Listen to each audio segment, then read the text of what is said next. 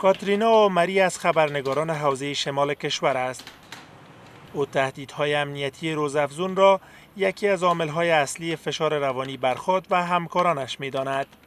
می‌گوید حضور بانوان خبرنگار در ساحه کار نسبت به هفته ها و ماه های گذشته خیلی کمتر شده است.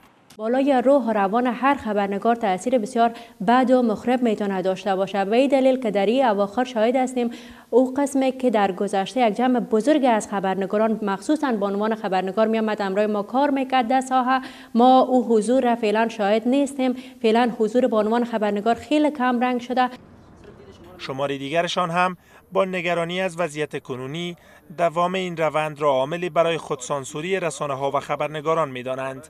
ادامه این وضعیت سبب خودسانسوری محتوای نشرات رسانه ها خواهد شد و حتی برخی از خبرنگاران تاکید دارند که اگر این وضعیت همچنان ادامه پیدا کنه آنان دیگه قادر به ادامه کار نخواهند بود. به نظر من ادامه وضعیت سبب خواهد شد تا آنچه که دستاورد 18 ساله گفته میشه که او آزادی بیان است.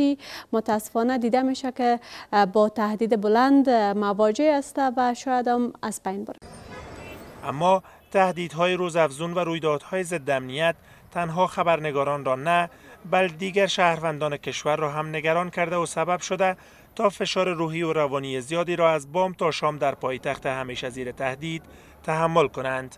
ما که صبح از خانه بریم امید زیر نداریم که دوباره خانه میریم و هر قدمی که میمانیم ما خودم حواسم تو پریشان و مخشوش می باشه که حال یک صدای انفجار میشه حال انفجار میشه. صد فیصد بر روانی روان تاثیرات بد داره صد فیصد. دیگه جنگ بسیار بدبختی میاره.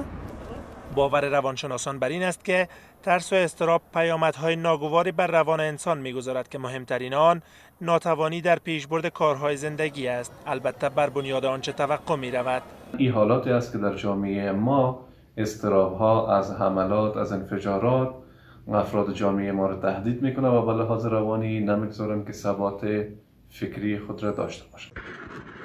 مسئولان در وزارت صحت عامه هم تاکید دارند که انفجار سبب بروز نشانه های گوناگون می شود از حواس پرتی گرفته تا صدمه روانی شدید. انفجار و انتحار سبب اراز و علائم مختلف روانی میشه. مانند استرا و عصبانیت مانند هوشپرکی سراسیمگی از دست دادن کنترل کرختی پاسخ و حتی تا درجه های صدمه روانی دیده می‌تونه که نظر به جنس و سن و تجربه و امو فجی بودن حادثه که واقع شده و یا تجربه وحشتناکی که شخص از اونجا می‌گیره به این ارتباط. داره کمیسیون مستقل حقوق بشر افغانستان هم می‌گوید که حمله های هدفمند بر روند کارهای رسانه‌ای و مدنی در افغانستان تاثیر گذاشته و تاکید کرده که خبرنگاران خواستار مسئولیت و پشتیبانی اند.